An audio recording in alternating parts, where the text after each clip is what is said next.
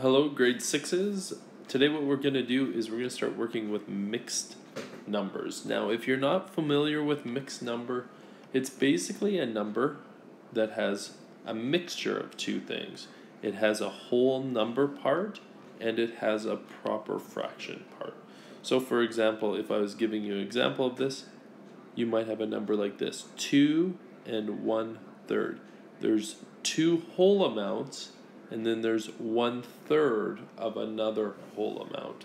So that's what it has. It has the whole number part in front, and then it has the fraction part as well. So let's try this first question. So our first example here is write 17 fourths as a mixed number. So you can see 17 fourths is an improper fraction, and we want to write it now as a mixed number. So the first thing I'm going to do is I'm going to show you how to tackle this just with a diagram. So let's just quick draw something that's separated into quarters. Okay, so it's separated into quarters. And we've got, the reason I drew my wholes as being separated into quarters is because the denominator is a 4. So that means every whole is divided up into 4 chunks. So if I start coloring this in, I've got one, two, three, 4, and you can see I need 17 of these. So let's go to the next one.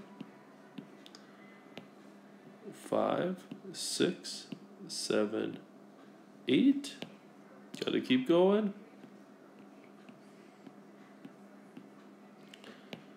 9, 10, 11, 12. Getting closer.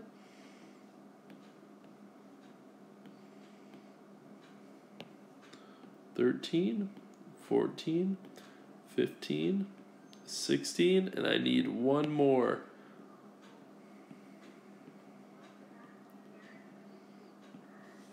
And the last thing I'm going to write is the 17th piece. So the question is, what is 17 fourths as a mixed number? Well, first thing we do is count the number of whole pieces we had. So here's one, here's two, here's three, Here's four. So I have four wholes. And how much do I have left over? I've got one left over and each whole is divided up into four. So the denominator becomes four.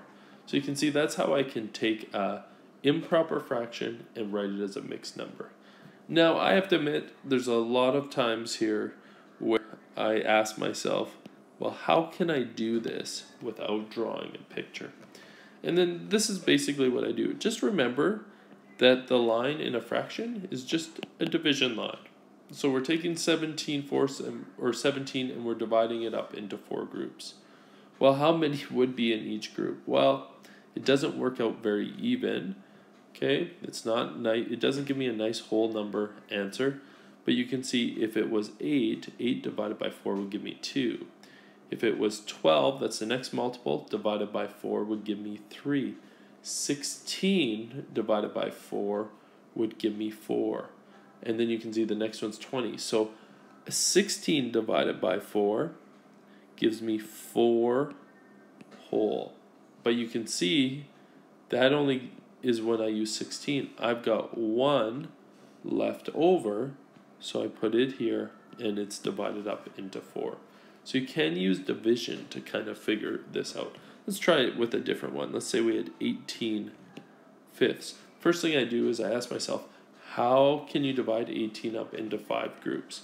And you start thinking to yourself, well, 10 divides by 5, there's 2 in each group.